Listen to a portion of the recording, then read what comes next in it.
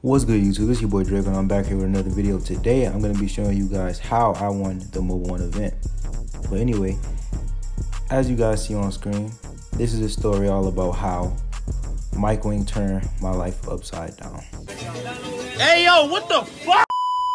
Mike Wang got on the Twitter and said there was no hot fix, no changes to gameplay at all. But when I logged into the game, my game started crashing every time I got on and every time I played. So I didn't know what was going on. 2K support didn't help. I had to go myself and find a solution. I had to play a quest. Well, actually do a quest. You can't play one. But I did the quest. And then after that, everything started working. I could start finishing online games and stuff like that without no crashes. But 2K, I, I was at GOAT status, going on 18, 20, 30 streaks. And for you guys to blame me and say, to say that I quit every time it crashed and lowered me from gold status all the way to black kind of hurt me because I have to grind all the way back and you've been adding losses to my record for no reason. Things that I can't even control. So going into this event, everybody should have known it wasn't going to work right. It wasn't going to work properly. I tried to get in there with my team. We squatted up, we went through the door, and all of a sudden, we were in a squad, but we're not in the same server. And it doesn't even make sense, 2K. How can we be in the squad but not in the same server? So because we kept trying to join up, minutes would pass, 10 minutes already passed. I'm like, oh my God, we're not gonna be on time for this event. So a miracle happened. Finally, me and one of my teammates got in the same server. So I'm trying to invite the other teammate. I'm like, maybe you'll spawn in the Mobil 1 Center. Maybe that's the solution to all our problems. No, he spawned all the way at the subway. What happened to in NBA 2K22 current gen or next gen? You used to spawn right next to your teammate. That would have solved all the problems. Teammates would be in the squad, they would be in the arena, and everything could be ready to go.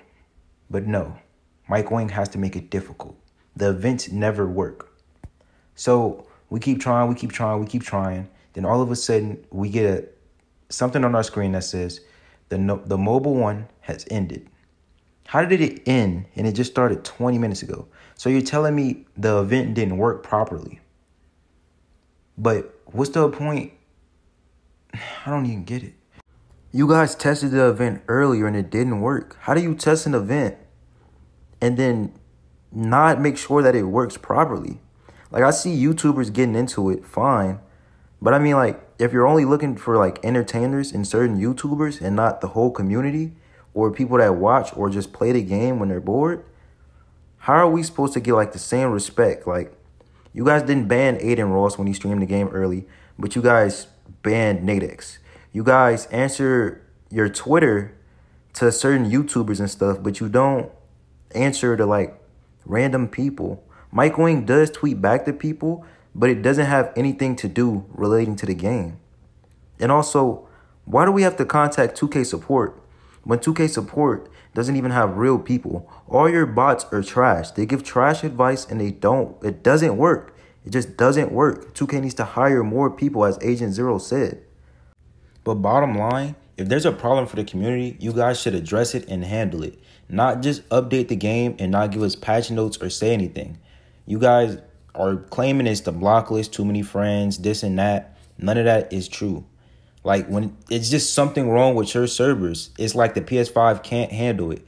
Like I'm walking in park after I get out the Mobil 1 uh, center and my character is lagging, the game's stuttering. I go to theater mode, I can't open the menus. There's so many problems with the game.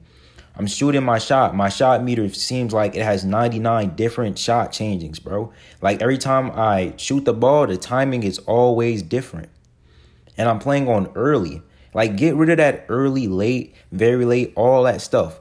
Like I know you guys want skill gap in the game, but it's like, stop listening to these YouTubers. These YouTubers want to make themselves look good. They're going to adapt to their environment and try their hardest. And you're going to be like, oh, why don't other people try their hardest? Some people go to work. Some people don't want to play that hard. It's a basketball video game. I understand white should never go in. But it's like, when I'm shooting this all day and my timing is just getting messed up over and over again, I just, I play with the meter. In all my clips, I play with the meter because it's always different.